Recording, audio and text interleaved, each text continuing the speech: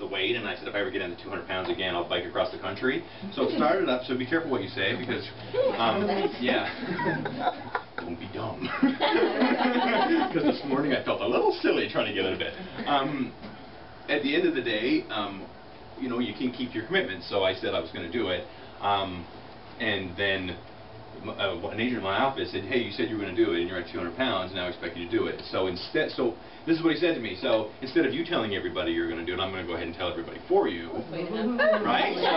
So, so that's what he did for me. So he told everybody that I was going to do it, and therefore that made me kind of have to do it, right? So um, that's called accountability, and that's really you know what what it's about. And it's sometimes it it sucks, but that's the reality of it. Um, and it's, it's, it's a commitment um, for bigger things. See, this commitment for me was for me and my family because we get to go do fun things over the next three weeks, get to see the country, and I get to take some time to spend with just them. So that's what it is for me. Um, my MAPS coach um, talked to me about doing this trip, and she said, well, well, you're doing it. Why don't you do something cool? Why don't you do something, you know, for other people? So we thought about it, we, and we thought, well, why don't I raise some money for KW Cares? So that's kind of what we're doing. We're raising money for KW Cares. We're selling these shirts. Um, they're $25, um, or you can just give a donation of any sort. I have forms that, that you can fill out, um, and I'd appreciate any, anybody that would do that. It goes, uh, all that goes straight to KW Cares. Um, for the most part, my wife and I are paying for this trip um, completely on our own so that we could do this for KW Cares. When I woke up this morning, I was very uncomfortable, and and someone I, and I called a bunch of people when I when I started this journey and started this trip of people who did it, people who were successful. I, I talked to a gentleman.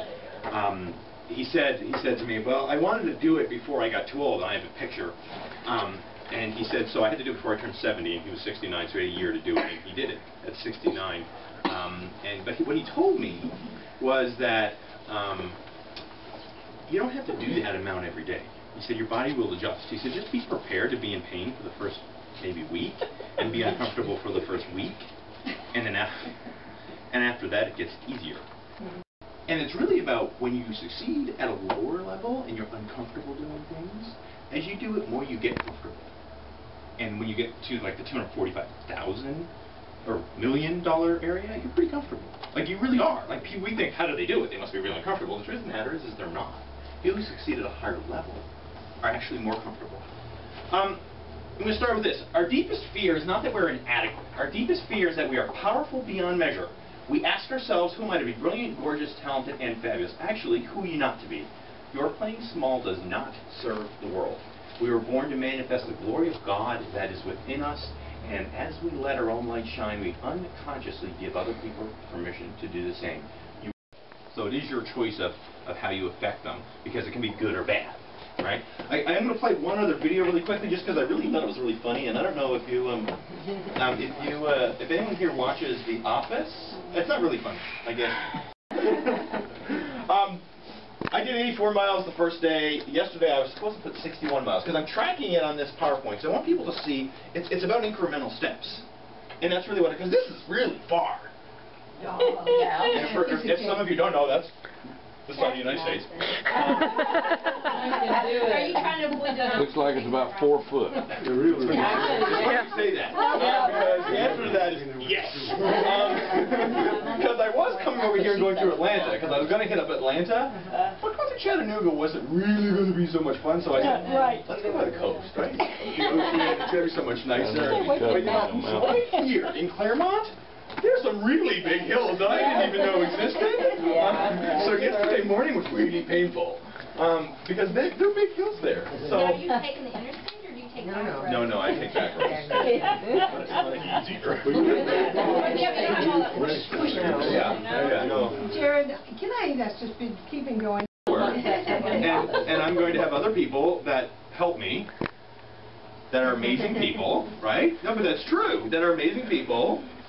I have people set up in, in, the in the company I'm with right now that are taking all my tasks and doing them for me. And if they're the right people, it's really easy. Have any of you hired the right person? You don't have to do anything. That's the greatest part. Yeah, that's about hiring the. When you hire the right person, because I have people that say, "Oh, I got to do all this work." If they hire somebody, it's probably the wrong person if they're not doing it. I'm not helping you. Because we hire people to gain us more Time. time or Freedom. freedom, money. It's one of the two reasons, time or money. So I didn't want money. I mean, you know, I mean, I wanted time for this. So I hired people to help me, to give me more time. And when you're surrounding yourself by people that want to help, good stuff. So who knew I wore glasses to- so I didn't get a bug in my eye?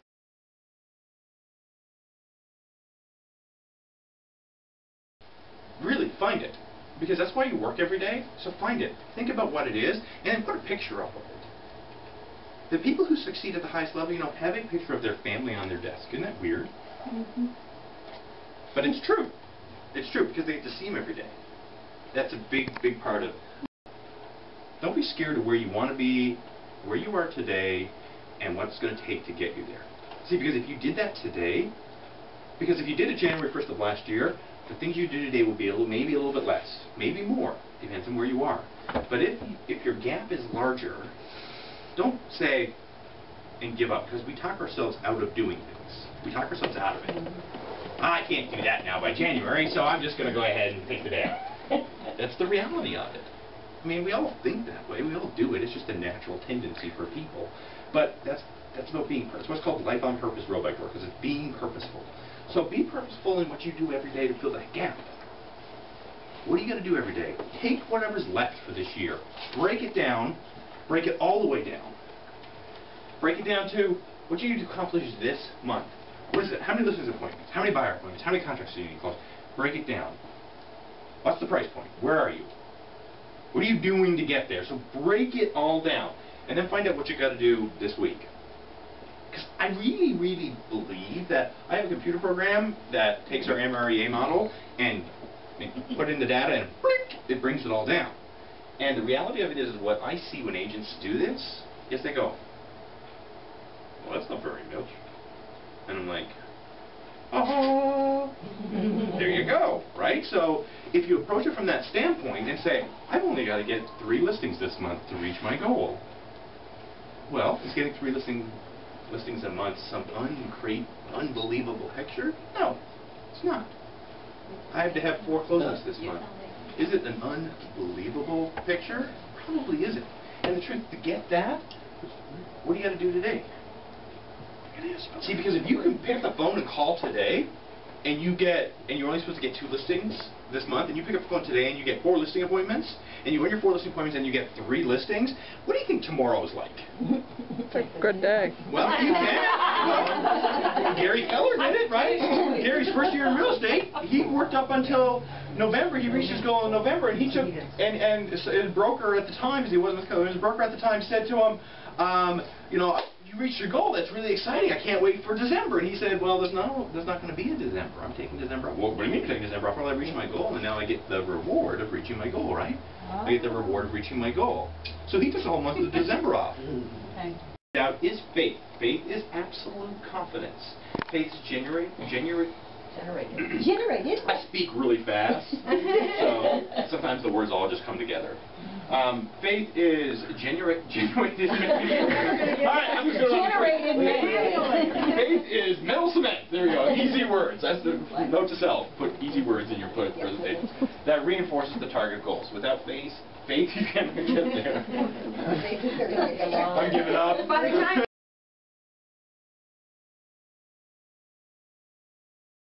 Scheduling and time blocking. Stay firm to your schedule, be committed, and follow time blocking. You will counter counterbalance your life accordingly. To do it. Now, I mean, you're lucky at Keller Williams we do. We do teach that here in, in our company, but you understand, most people out there in the real world, they don't. They don't. Um, there is not enough accountability. Real estate agents generally become agents to avoid accountability. Oh, it is. Ask them. I mean, I do this for a living. So what did you do in the real estate? Well, I worked a full-time job, and I didn't like answering to anybody, so I decided to get my real estate license. If you schedule those priorities and find out what those priorities, are, what's your priorities in real estate? Make money. That's, well, sure. That's how do you make money. Buy and sell. Buyers and such. Find buyers, how do you find buyers and sellers? Lead Generate. generation. I mean, those are, it's Right simple. there, It's not in the... You're right. Um, lead, lead generation is your number one priority. It is. It just simply is, and I know we preach it to you, but it really truly is. Never let anything take you off your schedule. Why? If you do not accomplish what's on your schedule, you will not accomplish your goals. Get that. If you don't accomplish everything that's on your schedule, you will not accomplish your goals. So if you don't do it, you ain't going to get the results. Not any harder than that. So we have to memorize that, right? Memorize what? That. Yes, Yes. do it. Lack of motivation always creates a time management problem. If you don't do something, you probably won't. So what is your big buy? How do you, you know, Find out what your goals are. well, when we don't, when we don't reach our goals, what, what, what happens inside of us? Yeah, Shut down. It's a lack of motivation. If you don't, you know, even not coming into the office is still a lack of motivation. Because I can promise you, if you don't show up to the office when you wanted to, you know, when you said, "Ah, I'm going to, and you don't show up, when you get home at night and you sit in bed, you go, oh, I didn't show up to the office today. Hmm, that wasn't, I mean, unless you're independently wealthy and you don't, you know, this is a fun job and you didn't want to have fun that day because either you're doing it for money or you're doing it for fun. If you don't show up, it's not much fun, and if you don't do it, you're not making money. Right? So you get in bed and you say, well, I didn't show up today, so it wasn't fun, or I didn't show up today and I didn't make any money. That's what causes this. It's, it's not what we think it is. See, what we think it is, is when we get on that phone and someone says, no, I'm not interested in, in using you, please don't call me again. That's what we think it is. It's not that. It's not that. Accomplish today in order to reach your goals. Design your schedule around you, your life, and your goals. Keep your schedule simple and workable. See, that's why we got into real estate, right here. Because you can schedule around you, your life, and your goals. Because when you become an independent contractor, it becomes about you. And I wish when I said, hey, why'd you get into real estate, that someone said, because now it's about me. I'm in control, and I'm a good person to be in control of the ship. Not because I don't like the other person that was in control, so therefore, it's because I want to be in control of the ship. And when I'm in control of the ship, I can control me, my life, and my goals. But it still has to happen. It still does have to happen. Um, five keys to successful time blocking. Be consistent enough to set the habit, so do it. I, I, Friday is my day. I take an hour on Friday, and I go through my schedule the next week. I make sure that it's open it's available. It's there. You know, it just it's it is what it is. I think it's important. Okay. But it's, yeah, but it's like a three-hour class, and, and I've only got like 15 minutes, maybe I don't know. Um, but at the end of the day, the six personal pers- perspective. See, this is what makes us makes us reach our goals, makes us do what we need to do. These six personal perspectives, it establishes a powerful leadership mindset with six personal perspectives. Understand, we're all leaders. Why? We're all independent contractors.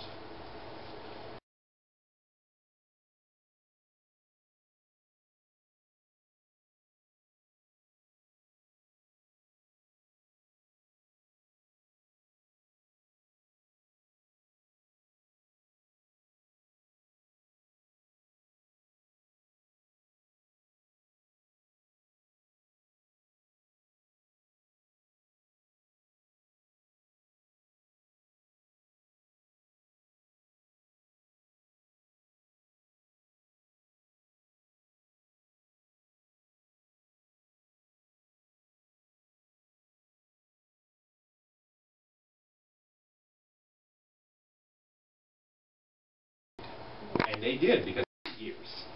And they hoped themselves right out of the door. Hope is great, but we hope themselves right out of the door. Because they, they weren't getting on with it. Mm-hmm. Somebody who does that much in real estate is getting on with it today. They're not waiting or hoping. It's just, it is what it is. It's just as simple.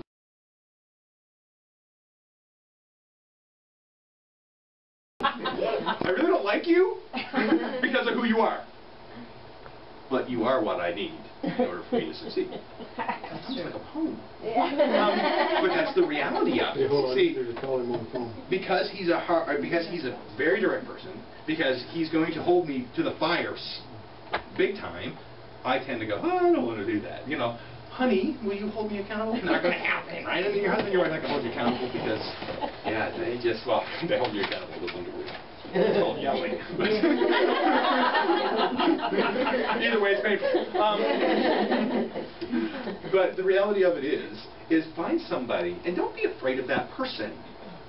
Don't be afraid of that person. Because, well, with this guy, I mean, I'll be honest, I'll tell you who it is, is Rich Rector. I don't know, have you, any of you gone through Rich Rector's training? Oh, yeah. I mean, having him as a, as a coach, scares me to death because I know what it's going to.